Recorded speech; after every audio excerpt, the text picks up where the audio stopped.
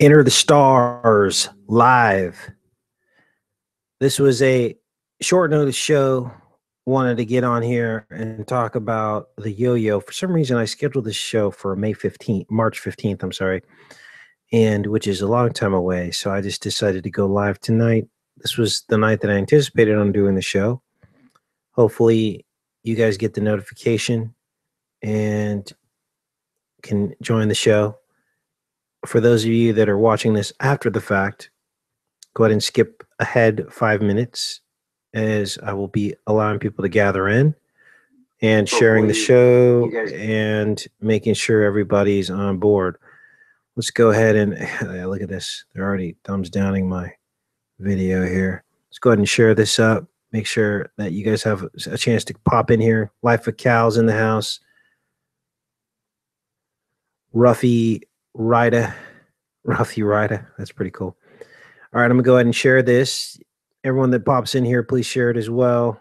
Again, if you're watching this after the fact, uh, go ahead and skip ahead five minutes because I will be allowing people to come in so they don't miss the show tonight since I'm doing this short notice. Now, it's been a pretty crazy week, as you guys know a lot going on with Trump changing uh, the Health Care Act, presenting his own Health Care Act, which is basically just a repackaged version of what we had. There are a few improvements. I do know that the the mandate is going to be dropped. In other words, they can't penalize you on your taxes and force you to do this.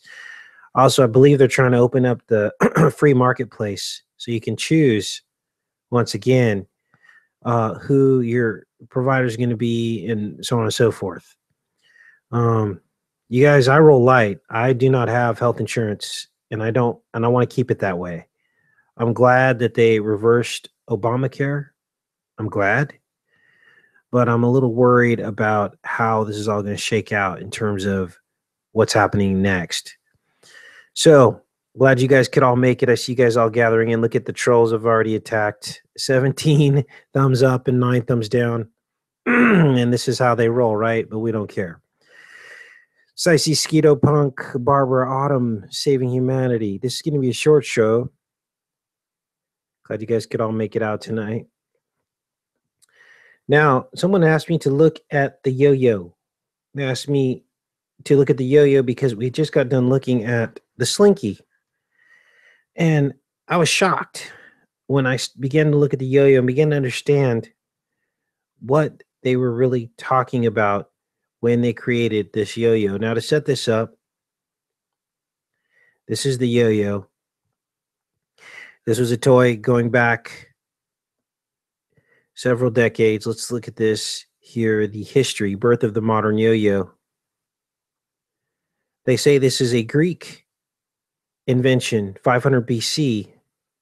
And here we see this terracotta yo-yo, this boy playing this yo-yo in 500 BC. Greek records from the period describe toys made out of wood, metal, or painted terracotta, fired clay. The terracotta discs were used to ceremonially offer the toys of youth to certain gods when a child came of age. Discs of other materials were used for actual play. Then they go on to talk about the modern yo yo having Filipino roots. But what I wanted you to note is that the original roots of the yo yo did actually come from ancient Greece. Now, many of you know that the planets are named after Greek and Roman gods. And we did a video a while back actually looking at, I can't remember what planet it was, but they had rings and they knew this back then before they had telescopes. And I can't remember. I believe it may have been Saturn. And when we look at the festival of Saturnalia, this is a Roman festival. As you know, the Romans and the Greeks were tied in very closely together. Held on December 17th. We understand that the roots of Saturnalia mimic Christmas. We've done videos exposing this that Saturnalia is, in fact, Christmas. But what I want to focus on today is this salutation. The phrase I-O, Saturnalia, was the characteristic shout or salutation of the festival, originally commencing after the public banquet on the single day of December 17th. The interjection I-O is pronounced either with two syllables, I-O, or a single syllable with the I becoming and pronounced yo, J O or yo. These are the roots of the yo yo. Now, follow me on this because this is crazy. What they do is they say Io, Io, Io. That is the salutation or yo, yo, yo. Let me see if I can find that in here. And when you look at what a yo yo is, it is actually a spiral wrapped around a round object. I'll say that again. It is a spiral wrapped around a round object. What else has a spiral wrapped around a round object? Well, it's Saturn's rings. Saturn ring spiral. It's the outermost ring of Saturn is actually a spiral. So now you can imagine grabbing the end of this spiral. And now what you're seeing is a yo-yo. Saturn is a yo-yo. When you grab the end of the spiral and unwind Saturn, you get the yo-yo. So you're probably asking, Casey, how did they know that Saturn had rings in 500 BC? And it's it's what I've been telling you guys all along. It's because the planets are actually the empty remnants of fallen stars. The book of Enoch tells us that each of us has a star in heaven. It says the righteous and the angels have a star in heaven, and that star shines as brightly as how righteous you are in this life.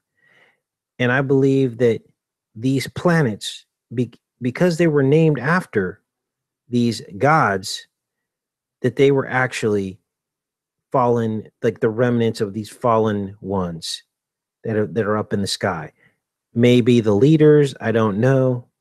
Let me find an here where they said IO, IO, IO. So this was the salutation. They say it like three times. They may have changed this Wikipedia article. See if we can find it, you guys. And so what has happened is this is what it is. Yo, yo, yo, yo. So I just laid out the case it's up to you to decide, you know, if in fact this is the truth.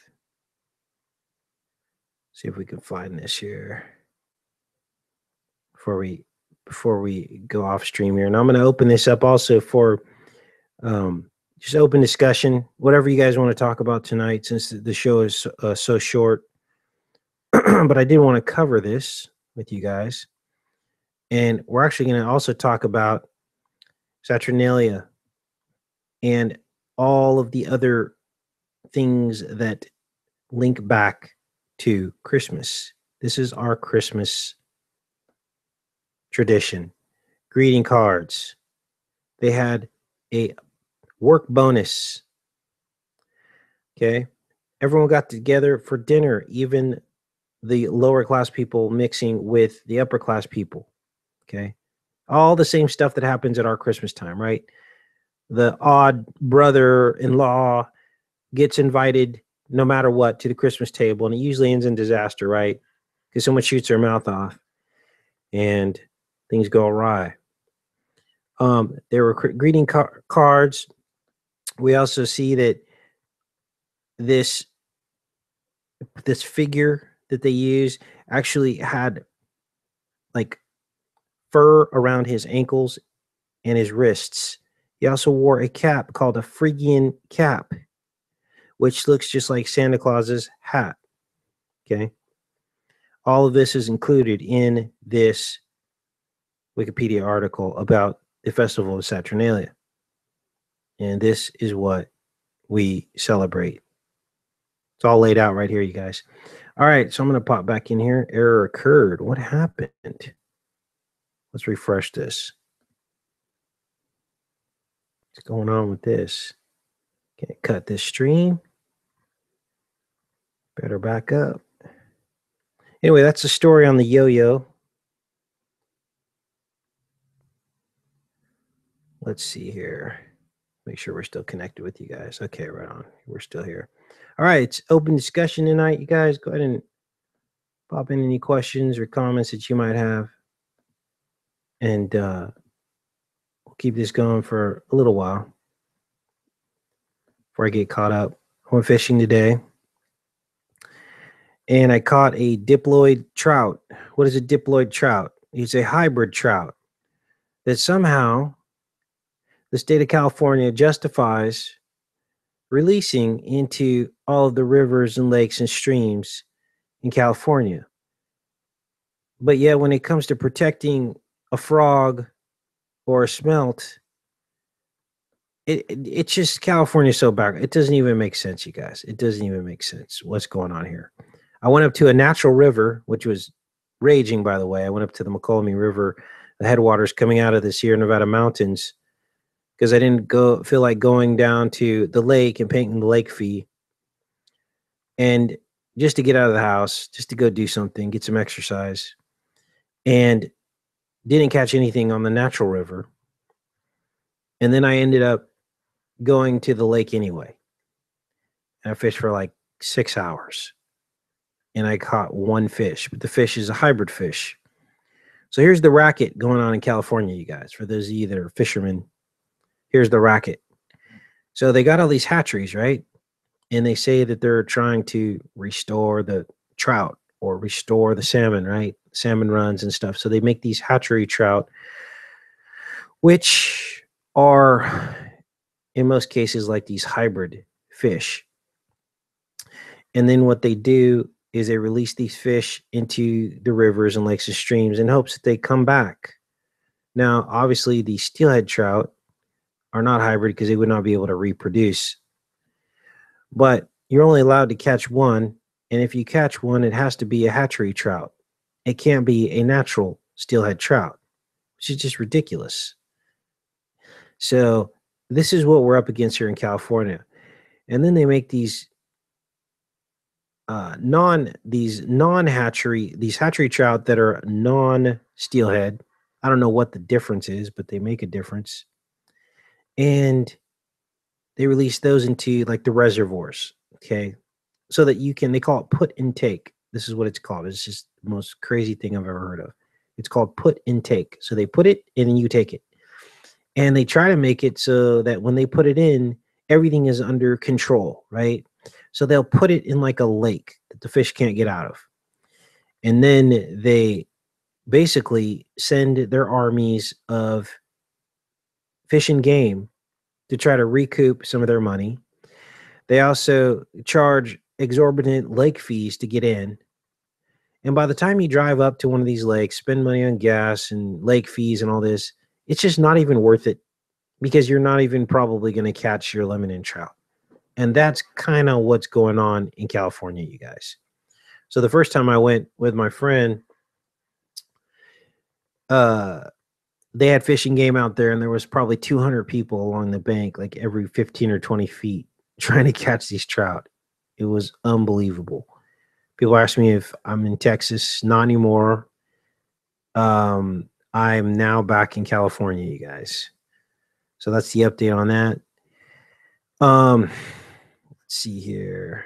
I'm looking in the chat here. So that's the story about what I've kind of been up to the last couple days, you guys. But I did catch a trout, and so I guess that's pretty cool. It's a couple pounds. I want to get a camera soon so I can get back on my fishing channel. And um, Gary says I used to sneak into the fisheries and fish illegally.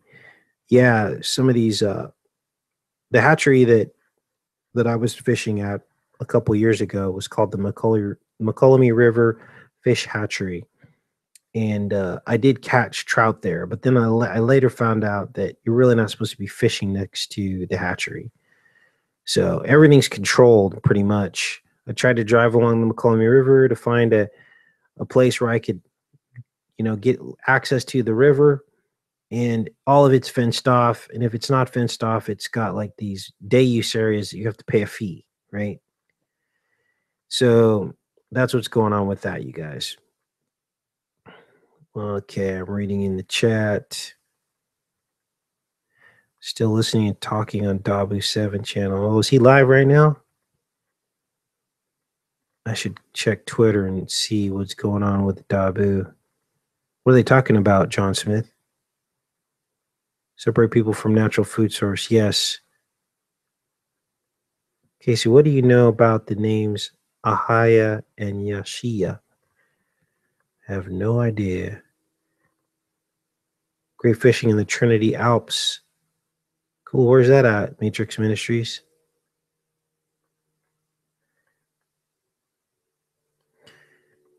Yeah, I heard you guys are getting some uh, tornado action and hail action going on in certain parts of Texas.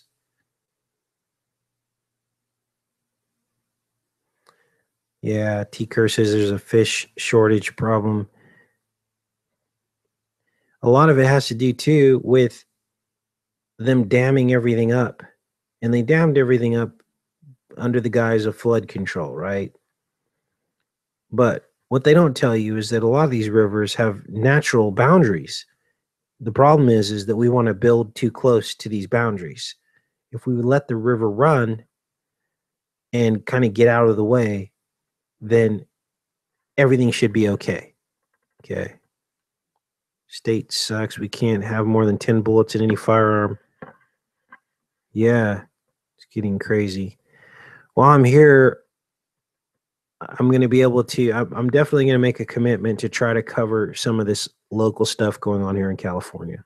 If I'm nearby, if like there's something going on in Sacramento, I'm going to try to pop up there and see what's going on, you guys.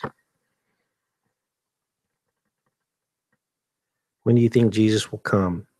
It's a good question. You know, we tried to look at that a couple years ago. Nobody knows the day or the hour according to the Bible, but it doesn't say that nobody would know the year. And uh, take a look at that video. I can't remember what the name of it was, but I think we were looking at like 2028.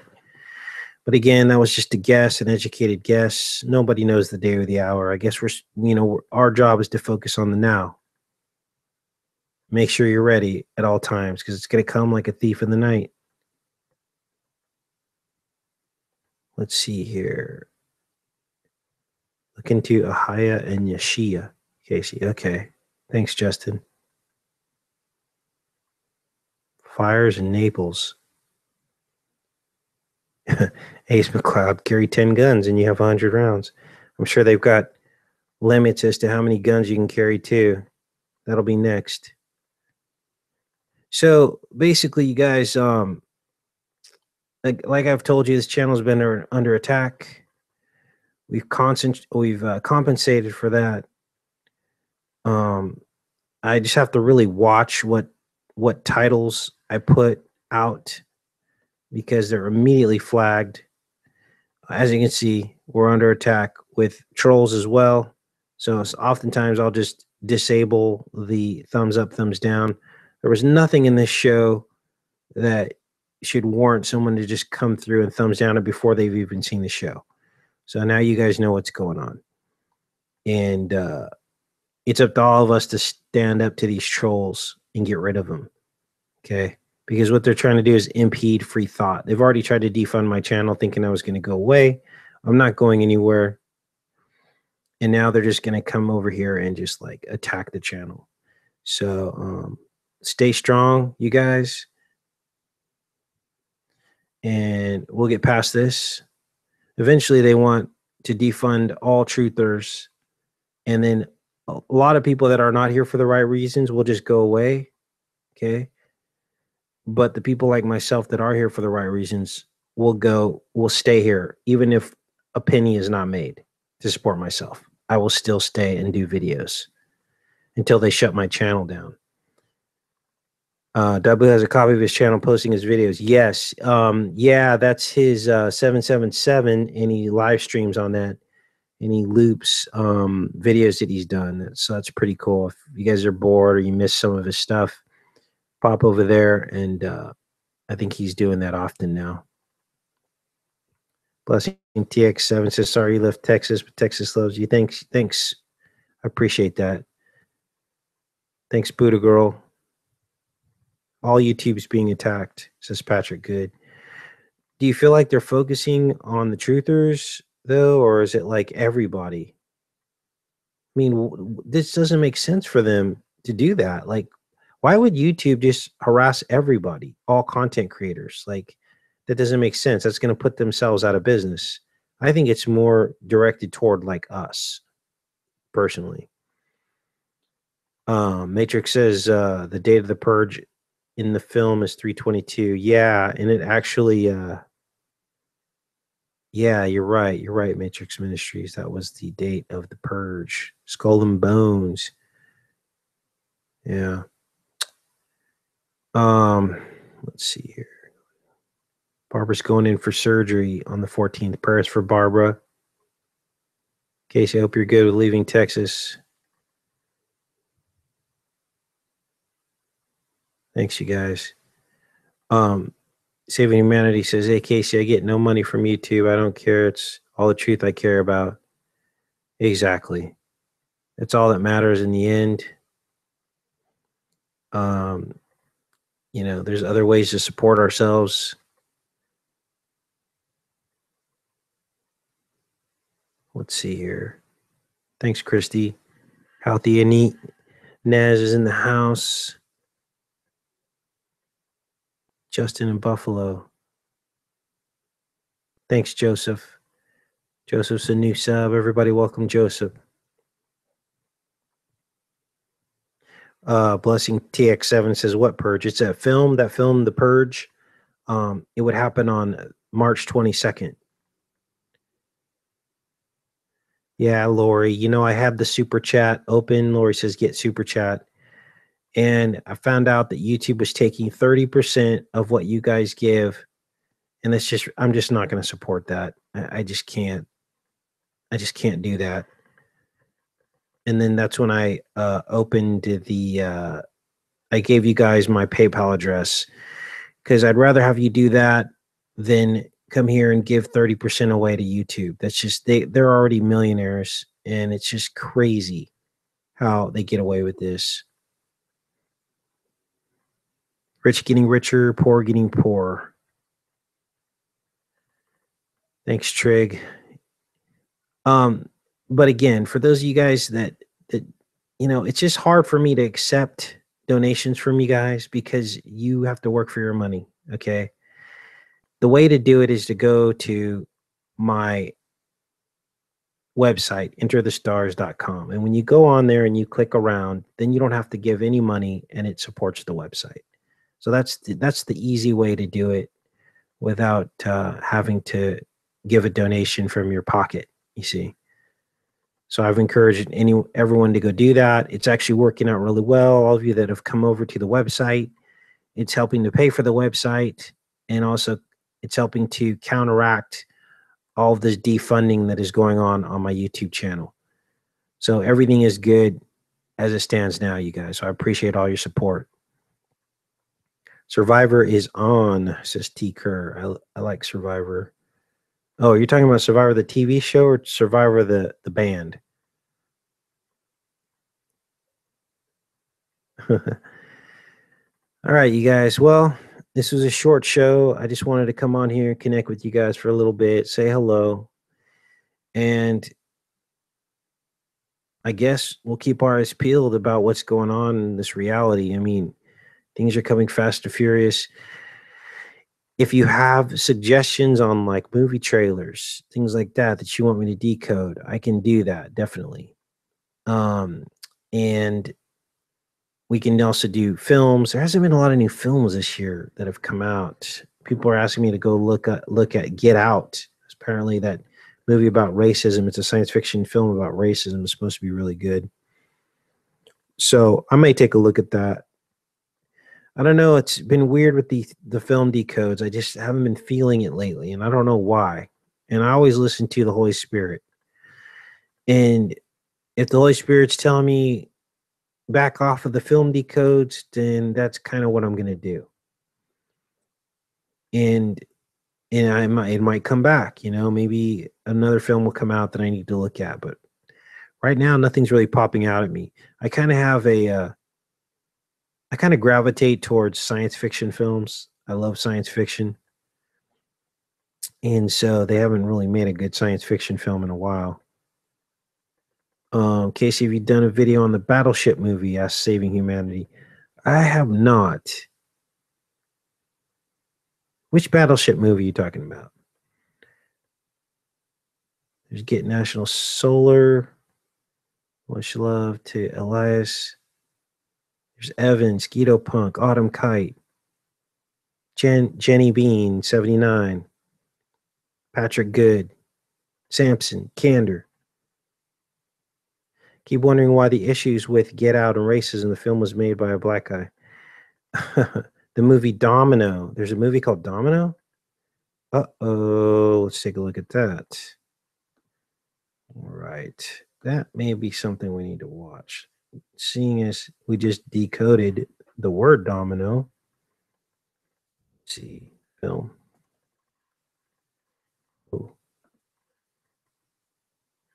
What is this?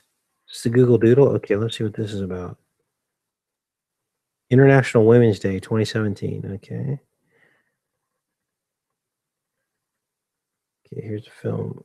Tony Scott, Domino Harvey, English 2000 this is from 2005 it's an older film.